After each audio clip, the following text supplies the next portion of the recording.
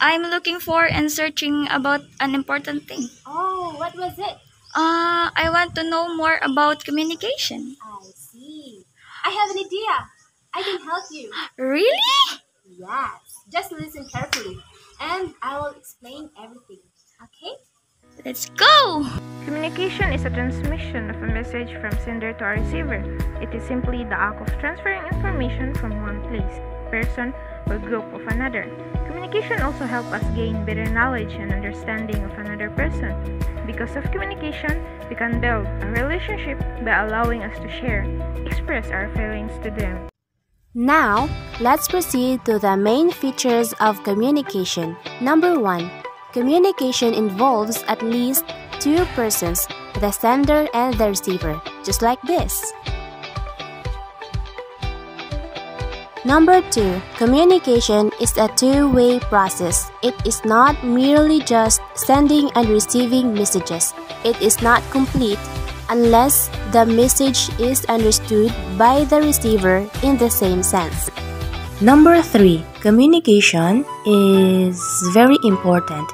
In here, message is a must because message is the subject matter of communication. Without message, there is no communication. Number 4. Communication may be formal or informal. Formal communication follows formal channels. For example, from managing director to finance manager, then finance manager to director, like that. While informal communication follows informal channels. Usually, it involves uh, between the two persons talking to each other because they work in the same organization or in the same company, so they are close. That is informal communication. Number 5. Scope of communication. It pervades all human relationship. It is essential in all types of organizational and at all levels of management. Number 6. Communication is influenced by mood, the thinking of sender and the receiver. Number 7. Communication is much more than words. It may be written, oral, or gestural. Let's proceed to the basic functions of mass communication. First, to inform.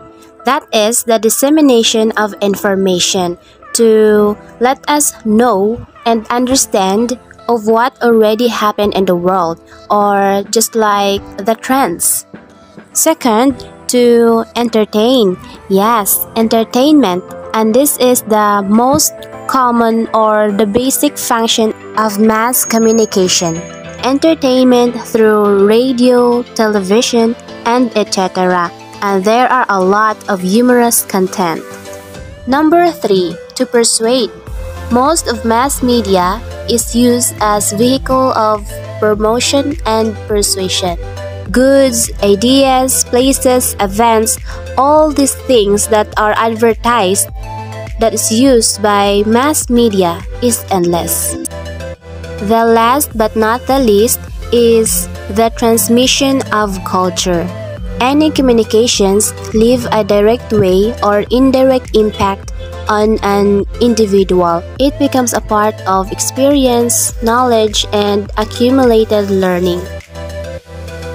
Okay, let's distinguish the differences between mass communication and human communication. Mass communication, it is a communication among the masses. It addresses the people without identifying each and everyone. For example, broadcasting, telecasting, social media, and etc. So it is meant to inform the masses. While human communication, it is a communication between two persons or let's say one-to-one basis. So it is personalized and targets that audience or that specific audience. Yes, remember, conveying a message to someone in person is human communication.